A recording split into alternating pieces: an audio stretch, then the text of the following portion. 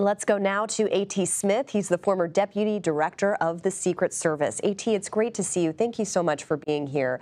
Um, so, I want to talk about the possibility of jail time for the former president. Most legal analysts we've talked to have said that they really doubt that any jail time would be um, administered for the former president given the circumstances. But if that were to be the case, if he was sentenced to jail, what would that look like given that he would be under Secret Service protection?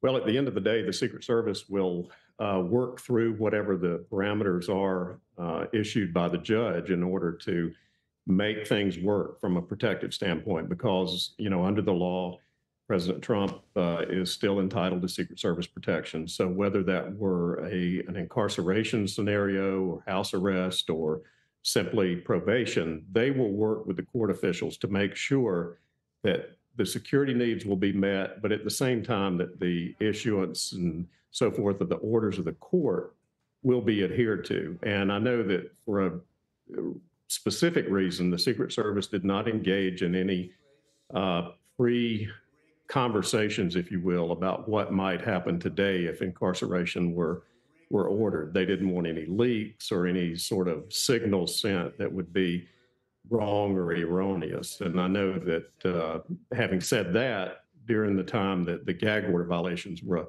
an issue, the service did have some conversations about what if. And in that scenario, there were several things put on the table, whether it's the VIP uh, section of Rikers or uh, even to some degree, there's a VIP uh, detention ward at Bellevue Hospital, or certainly, you know, house uh, incarceration or house arrest at Trump Tower. So there were a lot of things mm. discussed, not in the context of this, but in the context of the gag order. But at the end of the day, and the Secret Service has put out a, a statement today saying that they will adhere to the uh, orders of the judge, but at the same time, they will carry out their mission as they always do. Yeah, and, and you know, regardless of what happens with the sentencing, there must be a heightened sense of alert in terms of potential threats to the former president, especially now that he is a convicted felon.